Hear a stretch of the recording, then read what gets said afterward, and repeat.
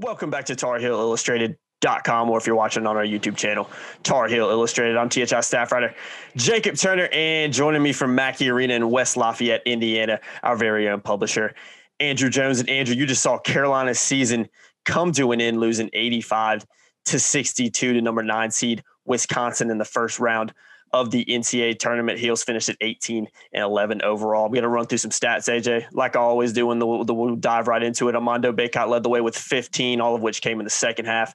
Garrison Brooks' last game as a Tar Heel, uh, most likely 10 points, 10 rebounds, so double double for him. Caleb Love, 10 points, and Kerwin Walton, eight. Um, first thing I kind of want to talk about, AJ, I, I, thought defensively it was a really poor performance from Carolina tonight. Uh, Badgers shot 48.1% from three point land.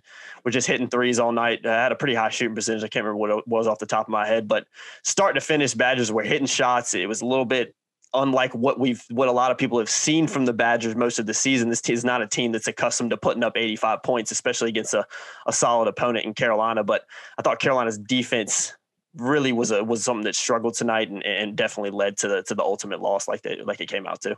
It was early because Wisconsin had success driving the ball into the lane early. Mm-hmm. Uh, they had layups, and then they had dump downs where the defense rotated over and they got dunks early. Uh, had a lot of point blank stuff, and then uh, from that, uh, I think a lot of the perimeter stuff was born. You know, with 6:43 left in the first half, it was 22-18 Wisconsin, and the Badgers were three for 11 from the perimeter. Okay. They hit nine of their next 11 shots. Mm-hmm. Most of them were not contested. I, mm-hmm. I asked Roy after the game tonight you know, how much of it was Carolina's. Uh, I, I used the word allowed, but I mean, I think he understood when you say allowed, it's not like just, yeah, just go ahead and shoot the three. They just weren't getting out on it. And how much of it was just a bunch of guys scorching? Because Davison hit a three from the top of the key about four minutes in the half. And Roy, I was, I looked over, I looked at Roy a lot. And uh, I looked over at Roy. He just kind of shrugged his shoulders, walking toward the other, walking toward the baseline. I even watched some actions to say, not much you can do about that. I mean, yeah. Guys are scorching hot. Guys are scorching hot. He kind of alluded that a little bit tonight, saying, look, those guys were just hitting shots. They were on fire. Mm-hmm. Sometimes not much you can do about it. I do think that Carolina had a lot to do with it, but I also think that Wisconsin should get a lot of credit for just having a great night. Sometimes a team just plays off the charts out of their mind. I mm-hmm. think that was Wisconsin tonight but our focus is Carolina. I think it would be very fair to say that this was Carolina's worst performance in the season. Yeah, definitely, definitely up there. Because when you think about the issues defensively, a lot of that stuff we saw tonight. I mean, they statistically they turned out to be a pretty good defensive team, mm-hmm. but they had those times when they didn't defend it further. Coming into this game, in Carolina's ten losses, its opponents had shot forty five point five percent from three point range. In the eighteen wins, opponents shot twenty nine point five percent. Wisconsin was at nearly 50% tonight, and Carolina lost. So that pattern held. It held mm-hmm. from the from the opening game right on through to tonight. It was something that when it went wrong, it went really wrong. And they didn't really find ways to kind of get out and really shut teams down once they started getting on those books. That's just one of this team's flaws. So uh, Wisconsin scored 85 points tonight. I'm sure a lot of Wisconsin fans are thinking, wow. Uh, they, they, probably figured, man, if we get to no game, we got to score in East North Carolina. It's not going to happen. Well, they blew them out. Carolina's yeah. largest margin of defeat prior to tonight was 13 points. Mm-hmm. Tonight they lost by 23. And uh, I think that Wisconsin was probably 23 points better. Yeah, I'll probably agree with that. And let's flip over to the other side of the ball for a little bit. Talk about Carolina offensively.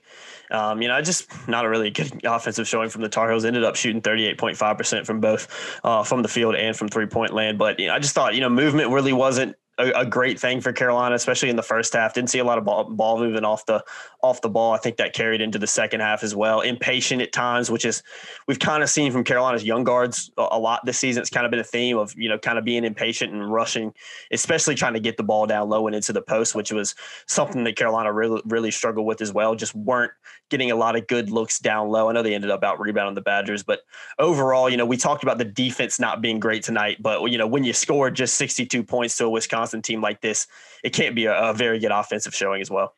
Well, it wasn't.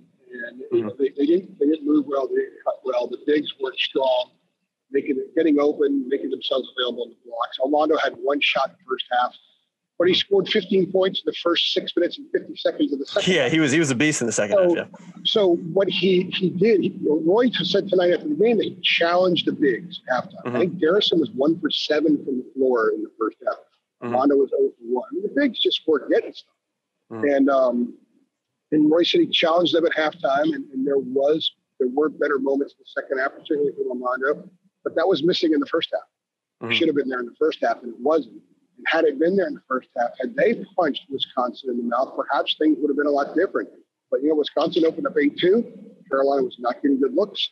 Um, Caleb started driving in the lane against the bigs again, and you could just kind of see when the bigs are not getting open and the guards start to become a little bit impatient, just everything unraveled. We've seen it happen at times this year. It happened a lot more in December and January than it has since.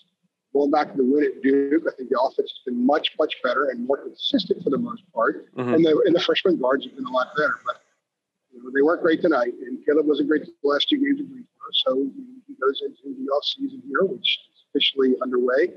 Um, he's going to have some decisions to make, and, and he's also going to evaluate a lot about uh, how he played this season. And I think he'll learn a lot from the last couple of games. Very talented player, smart yeah. kid. It's yeah. just 29 games. This was a um, this was a, a, a, huge dress rehearsal for what next year could be, given uh, what could come back for this team. So uh, it just look, everything went wrong today. They even got our mm-hmm. rebound. Yeah, no, no. And, and, I know you asked about offense, but Wisconsin came in number 241 in the nation in rebound margin, minus 1.7. Mm-hmm. Carolina was number one in the nation mm-hmm. at plus 10.6. Wisconsin out rebounded the Heels tonight, 37 34. I think only two other teams out rebounded the Heels. Mm-hmm. So um, that's you could take a lot of snapshots and put it up on a, on a wall and have this collage of everything that could have gone wrong for North Carolina that has gone wrong during the course of the season and you can plaster it on the wall and it all kind of found its, its way into Mackey Arena tonight. And uh, just wasn't their best performance. And uh, yeah.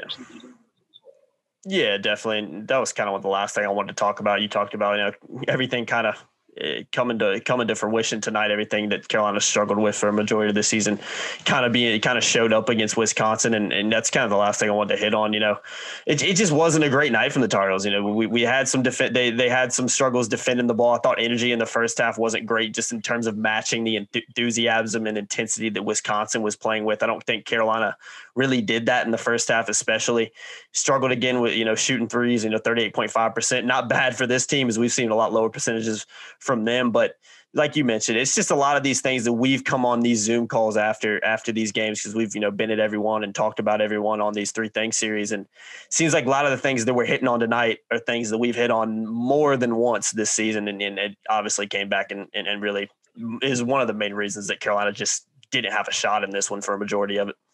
Yeah, go go back to the first half. Kerwin Walton, I think his first shot attempt was with 206 left, mm-hmm. And it was three. And mm-hmm. uh, then he hit another three with about 9:43 left. That was I think his next one, and that cut the margins to 66 to 50. They were down 19 to three. But when when I was talking about the defense and defending the three earlier, well, shooting the three kind of follows a similar pattern. When the Tar Heels have uh, uh, in games they won this year, uh, they've shot uh, around 40 percent, mm-hmm. 39, 40 percent, and when they haven't won, shot much, much lower. So they were five for 13 tonight, but only 13 attempts is a great sample size. Key to me is that Kerwin, not just tonight, but going back to Greensboro, Kerwin hasn't been getting a lot of the looks he's getting before, say, the Florida State game, the, the mm-hmm. second Florida State game, the one in Chapel Hill. Mm-hmm. Kind of since then, teams have gone out, they defended him a little bit, a little bit differently. And, and you know, I think what's really cool for him is he's going to have a lot of that stuff on film, and he knows exactly you know what he needs to work on shake defenders, to get open a little bit more. He needs to cut better, uh, pop off screens a little bit harder, but also the use of the dribble. So this was a good year for him, but tonight was kind of a microcosm of a lot of the things that he needs to work on. And I'm not picking on him. There's a lot of guys that everyone has to work on stuff. I have to work on stuff. I have to be a better writer. I have too many typos. I'm the worst phone texture on the planet. I got to work on that too. So I'm not trying to dump on these guys, but when you lose in the fashion that they did, and that's our last snapshot of this team, well, you know, you, you can't help but kind of identify a lot of the things that they should use as fuel in the offseason, as fuel to get better as individuals, as fuel to get better as a team. A lot of lessons learned. And next year, they're not going to have six freshmen in the 10 man rotation. Yeah, so it's going to be a different group. They were the 325th most experienced team in America.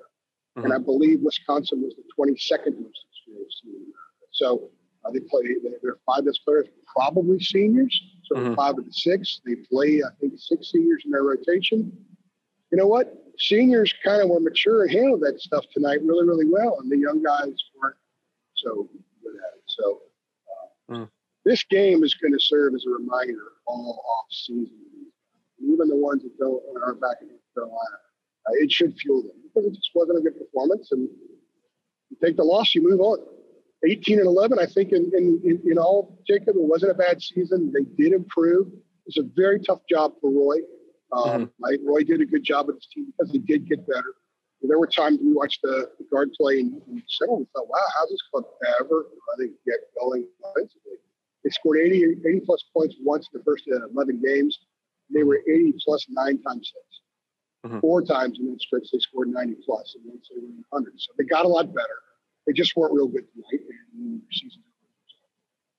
Yeah, great AJ. I thought it was a you know up and down unit overall for for Carolina, but definitely give some credit to Roy for you know getting them a little bit better and giving a little bit more positive performances towards the end of the season, especially last week in Greensboro. But just wasn't tonight. It wasn't to be tonight against a really experienced Wisconsin team, like you mentioned, with Carolina losing eighty five to sixty two. Go ahead. Just, just comment on that. A lot of people are dumping on Roy. And I'm not. Everywhere. I don't. I don't. I don't get paid to, to deflect that stuff or anything like mm-hmm. that. Trust me got to be critical. Got to be critical. But I think Roy actually did a good job this year with this team because mm-hmm. they had some inherent challenges that we didn't know about in the fall. We didn't know Caleb would struggle as much adapting to playing the point guard. Uh, this, was, this was the first time he ever did it, and nights he was really good, were he wasn't really good. And if your point guard in the North Carolina system is inconsistent like that, and, and really in a in, a, in the midst of a deep developmental phase, it affects everything. Yeah, yeah, definitely. So, next year, I, if everybody comes back that we think is going to come back, I think this team has a really good chance next year. Very, very good. And I think a lot of the stuff they went through this year will really pay off. And people say, boy, Roy's doing a great job with this team. But the foundation of that teaching and coaching started, started in the last four months. And a lot of the payoff will be seen next year. Yeah, absolutely. Yeah, good stuff, man. Good stuff as always. Carolina losing night 85 to 62 in the first round of the NCAA tournament. Actually, Roy Williams ever first ever loss in the first round of the tournament, 29 and 1. So, yeah, heck of a record right there. I mean, I guess it had to happen eventually, but 30 yeah, and 0 is better than that. Though. Yeah, you're not oh. lying about that. You're not lying. 30 and 0. He doesn't care about that record. Yeah, yeah. 30 and 0 definitely sounds better than 29 and 1, but just wasn't to be for the Tar Heels and finished the, the season at 18 and 11 overall. I've been Jacob Turner. He's been Andrew Jones. As always, guys, you've been following us for, you know, the entire season. Thanks for following us, and, and we'll have all the post game coverage from this game over on our website at Tar Heel Illustrated. If you've enjoyed the video, be sure to give it a like, share, subscribe to our channel. We'll see you guys in the next one. Thanks.